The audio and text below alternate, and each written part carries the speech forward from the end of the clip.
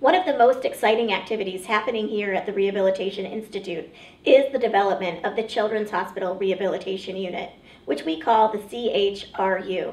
The CHRU is a comprehensive inpatient pediatric rehabilitation program.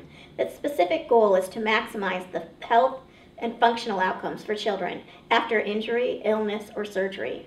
And this is a new service that we're providing here at Children's. We're very excited to be offering this service because it provides a continuity of care not yet experienced by the patients here at the Children's Hospital. The Children's Home is less than one mile away from the main Lawrenceville campus of the Children's Hospital. It's actually just down Penn Avenue. And the Children's Home is providing care for children now after they've been discharged from our inpatient units here. And so it's a natural extension of our partnership to develop the Children's Hospital Rehabilitation Unit. But it's important to remember that the Children's Hospital Rehabilitation Unit is a children's hospital unit, which means that our providers are all children's hospital providers.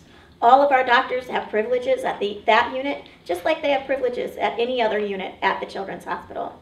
And what that means for our patients is excellent continuity of care, both from a medical perspective, a nursing perspective, and a therapeutic perspective. One of the things that's most exciting about opening the CHRU is bringing together a team of experts from multiple disciplines that will be working together with the child at the center of the team and the family working closely to advance outcomes. We're very excited to bring this integrated transdisciplinary team approach to Children's Hospital because it's our goal to make sure that children have the best quality of life as possible.